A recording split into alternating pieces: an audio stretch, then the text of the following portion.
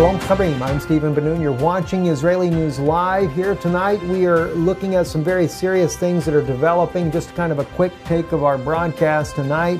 Uh, first off, uh, uh, South Korea is reporting that yet uh, another U.S. Uh, carrier group is headed over to the seas there around North, North and South Korea there. This time it's the uh, the Nimitz that is joining already. Uh, there being the Ronald Reagan and the Vinson. Uh, Carl Vinson that is in the region, which we knew this from the beginning. We had reported this ourselves here on Israeli News Live, uh, I guess a couple of weeks ago, that all three of the ships would be there. And of course, as tensions are rising, this is one of the reasons why the U.S. military has said that they would actually bring in the third strike group into the region.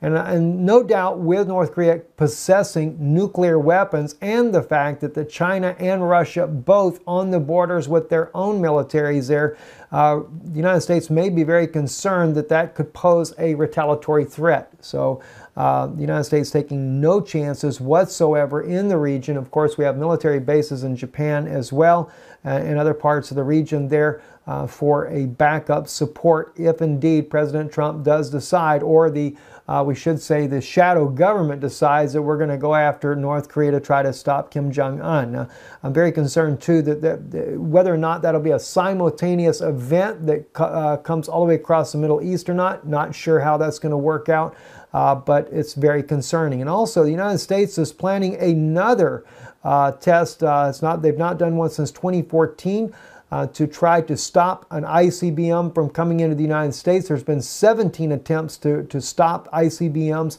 Only nine of them have been successful. The last one in 2014 was a success. Let's hope this time it's more successful because the three before that were all failures.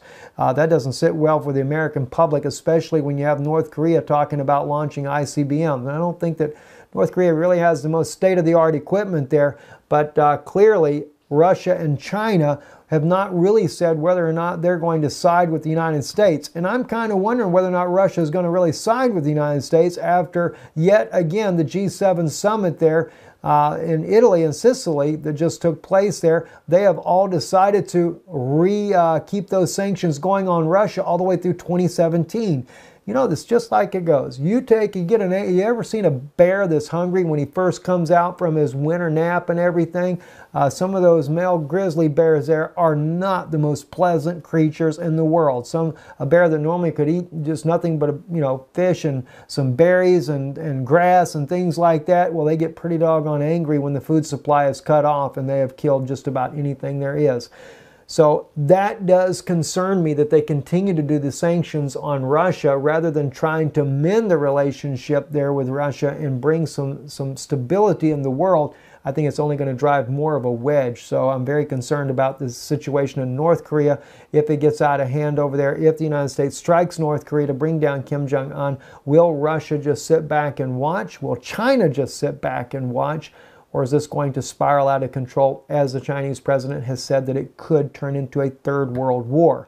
Speaking of a third world war, Egypt uh, has also retaliated against Libya for their uh, for the terrorists that they have in their country that launched a, uh, an attack on a bus with Coptic Christians, killed uh, just many people there in the buses there that just happened the other day. Now, Egypt has responded, and that has also put uh, uh, Tunisia on high alert on their own borders uh, in the event that something takes place as a result of the uh, conflict that is ongoing with Egypt and Libya. It could definitely all spiral completely out of control. Not to mention, talk about refugee crisis. T- uh, Tunisia is worried about it. What about uh, Italy? There, there's tons of refugees continue to pour across the channel there, so no doubt that could happen once again. Also, we've been mentioning to you guys for some time and asking for your help in, in making this possible, and it has become possible. Israeli News Live will air uh, once a week as of right now. Once a week, it'll be airing on World Harvest Television Network there in the United States. That's DirecTV, channel 367, 367 on DirecTV if you happen to have DirecTV.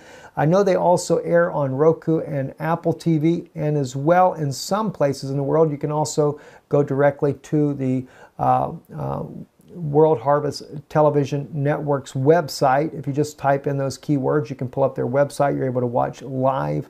Uh, in some parts of the world, that is possible. I've not been able to do it myself here in the Czech Republic, so I don't know exactly how that works. But it's 10 p.m. Eastern tonight. So if you'd like to uh, check it out, do so. We appreciate it. And uh, if you happen to know anyone that has a business that would like to help sponsor the broadcast, we do have uh, positionings for advertisement that is available where that can be done to help support the broadcast that we're doing there. It's basically an overview of the week's news that is coming out. Uh, and from time to time, when we can look at those things from a prophetic impact, we will also do that on uh, this particular broadcast here. But for all the latest breaking news that we try to bring out, trying to bring out a balance of things that are going on in the world today, uh, check us right out here on YouTube, Israeli News Live as well. We do have a live stream channel. We're not always there because we've always had technical difficulties, so we're just there occasionally. Uh, and of course, if you're looking for our biblical teachings, the Noon Institute on our YouTube channel.